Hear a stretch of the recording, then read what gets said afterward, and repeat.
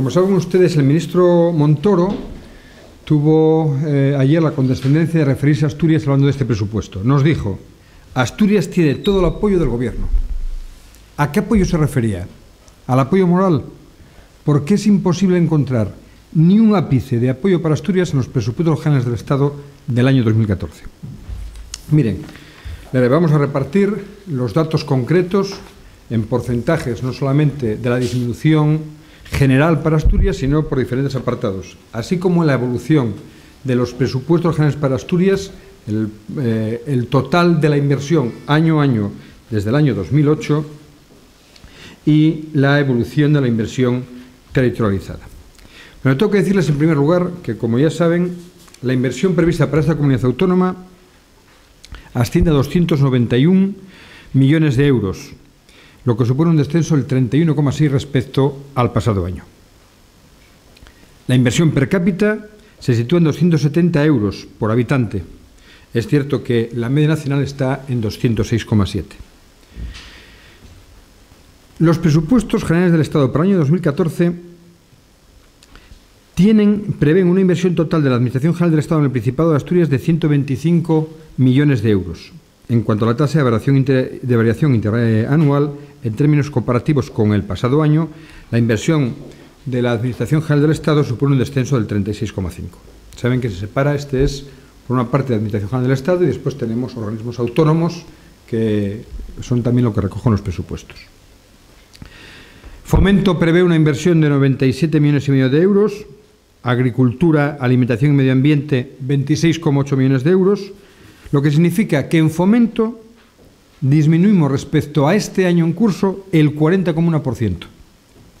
Y en agricultura y medio ambiente, donde están todas las horas de agua, la disminución es del 21%. La inversión prevista por el subsector empresas y ente públicos, que en el caso de Asturias, como saben, es especialmente importante, se cifra en 160,5 millones de euros, reduciéndose respecto a este año un 26,6%. Tienen a continuación lo que son la evolución de la inversión territorializada, desde los 1.018 millones del año 2008 hasta los 291 millones de este año. Es importante la comparación del promedio anual de inversión territorializada. Es decir, en vez de mirarlo año a año, mirémoslo por periodos de tiempo, sobre todo de legislaturas, que es lo que nos puede dar eh, unos datos más fiables. Miren, la última legislatura del Partido Socialista, año 2008-2011, el promedio anual de inversión fue de 878,8 millones de euros. Los tres presupuestos que aprueba el Partido Popular en la actual legislatura suponen una media de inversión para Asturias de 407,8%. Pero seguramente los datos recientes no nos dan una amplitud necesaria para poder analizar en el momento que estamos. ¿Por qué les digo eso?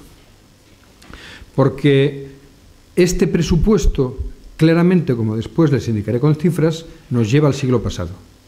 Nos lleva a una inversión del Estado en Asturias de la década de los 90 y no precisamente de finales. No apoya ni Asturias, por mucho que diga Montoro, ni apoya a los asturianos. Fíjense bien, los 356.000 ocupados asturianos, según la última EPA, tendrán que luchar para que no les bajen o congelen los salarios, porque este presupuesto a los ocupados españoles en una gran parte les bajará o les congelará los salarios. Los 115.000 parados eh, asturianos van a tener que conformarse con menos prestaciones por desempleo, por lo que desciende de forma importante esta partida, y no, eh, no van a encontrar especiales expectativas de nuevo trabajo. Los más de 300.000 pensionistas asturianos perderán poder adquisitivo y entre ellos los 9.000 que tienen pensiones no contributivas tendrán que arreglárselas con un 10% menos, sin saber por dónde les meterán tijera. Los funcionarios, como saben, verán congelado su salario y todos, incluidos autónomos y pequeños empresarios, comprobarán que se mantiene el alto nivel de impositivo en IRPF, IVA, IBI, a pesar del anuncio de que este año se iba a empezar a bajar y al tiempo además se incrementarán otras figuras impositivas. Como les decía, hablando ya de inversión, volvemos, volvemos a la década de los 90 y no precisamente a sus últimos años. Fíjense bien, entre vamos a coger todas las legislaturas desde el año 2000, es decir, desde inicios del siglo. La primera legislatura es la última de Aznar, año 2001-2004. Promedio de inversión, 527 millones de euros cada año para Asturias. Año 2005-2008, primera legislatura de Zapatero. Promedio de inversión para Asturias, 857 millones de euros.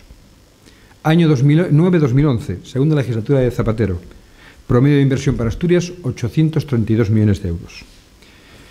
Como se ve, estamos un 44,7% por debajo de la inversión media en la segunda legislatura de Zapatero en los inicios de este siglo. Un 66% por debajo de la inversión media en la primera legislatura de Zapatero. Y un 47% por debajo del presupuesto más bajo de Zapatero en 2011, ya en plena crisis. La inversión por habitante de los presupuestos de los presupuestos generales del Estado en este siglo en Asturias osciló entre los 490,4 euros de la segunda legislatura de Aznar y los 1.017 euros del presupuesto de 2009 de Zapatero, lo que, lo que era un 73% más de la que se prevé para este año 2014 en los presupuestos generales del Estado para Asturias. Y además, Asturias será la comunidad autónoma del noroeste que tiene menos inversión por habitante. Los tijeretados llegan a todo el territorio asturiano.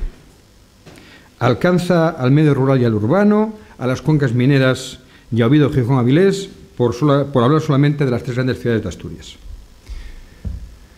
Línea de alta velocidad variante de Pajares. Como saben, se programa su finalización para el 2018.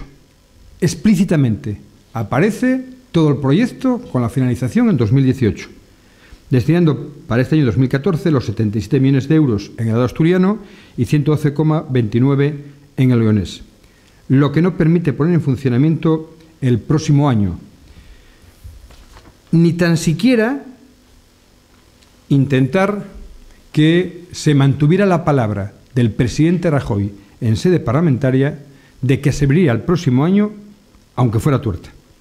Todo, que, todo eso queda con este presupuesto en agua de borrajas, nunca mejor dicho, hablando de la variante. La Confederación Hidrográfica del Cantábrico pasa de un presupuesto en 2013 de 22,7 millones de euros a 12,6 millones de euros el próximo año, un 44% menos. Y saben que la Confederación para Asturias es uno de los organismos inversores más importante en, en cuantía, era, lo era históricamente, pero sobre todo el que hacía una mayor distribución por el territorio de sus inversiones, ya que tenía presencia en prácticamente toda Asturias. No se para en barras este año el Partido Popular con Asturias. Hasta la Guardia Civil Asturiana ve disminuidos sus medios para seguridad ciudadana o el funcionamiento operativo de sus servicios en un 59%. El recorte llega también al salvamento, eh, al salvamento marítimo asturiano. Se le recortan un 63% sus medios para la regulación y la seguridad del tráfico marítimo o la inversión para el funcionamiento operativo. Para cercanías ferroviarias, nuestra FEBE, que acaba de ser incluida en Renfe, se programa un 65% menos de inversión que el pasado año. Para archivos, bibliotecas y restauración de bienes culturales, el recorte es del 38%. En el oriente de Asturias, el plan Picos queda sin presupuesto alguno para nuevos abastecimientos o sonamientos, eh, abastecimientos de agua o sonamientos. Y el tramo de la autovía del Cantábrico Pendulo-Sunquera se programa para, finalizar en el año 2015, con lo que la ministra Ana Pastor habrá incumplido en dos años su promesa del año pasado de acabarlo este. En el occidente, la autovía Sala-La Espina, desde la Doriga a Salas, seguirá parada y sin un euro para el mantenimiento de las obras ya realizadas. Las comarcas mineras asturianas no tendrán fondos mineros para costear gran parte de las obras ya construidas o algunas que están en plena ejecución. Y Mieres no tendrá nuevo cuartel de la Guardia Civil. Avilés se queda sin estudios ni proyecto para solución de su barrera ferroviaria. No se destina ni un euro para ello, para el estudio y la solución. No hablemos ya de la posterior inversión. Es un proyecto que se abandona. En Gijón no podrán iniciarse los accesos al puerto del Musel, ya que solo cuenta con 100.000 euros, cuatro veces menos que los que se le destinaron este año, que no sirvieron tampoco ni tan siquiera para iniciar el expediente. Por cierto, los 10 millones del año 2015 deben ser una broma, porque es un proyecto de 80 millones de euros que si pensara desarrollarlo eh, de forma plurianual, como saben ustedes, en presupuestos aparecen las cantidades hasta el año 2017. Se adjudican 10 millones para el año 2015 y absolutamente ni un euro más para el resto. Por eso digo que parece que es una broma, lógicamente, de año electoral.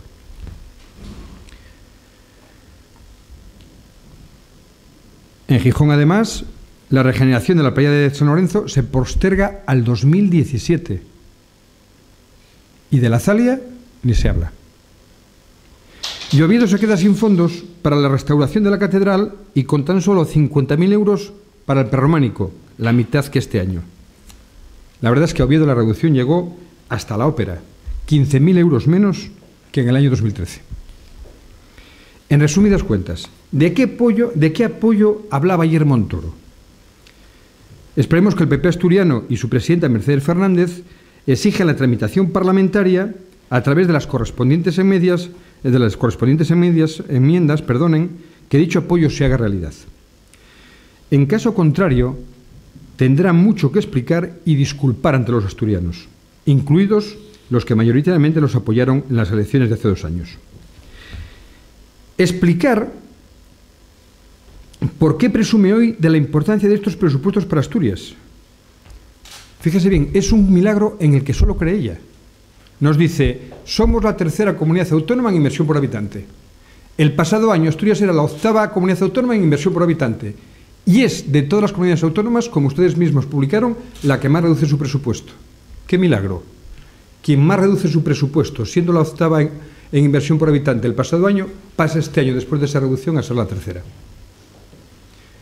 Y disculparse porque queda demostrado con estos presupuestos que Asturias apenas cuenta para Rajoy y, por tanto, bastante menos el Partido Popular Asturiano. Y pedirle también alguna disculpa por algún lazo, seguramente, que le llevó a errores no propios de ella en sencillas operaciones matemáticas. Declaraba antes ayer. Quienes desde hace 15 años no son capaces de acabar la variante, no están en disposición de ponerse tiquismiquis por unos meses arriba o abajo. Le recuerdo que hace 15 años era su partido quien gobernaba y ella estaba en puertas de ser delegada de gobierno.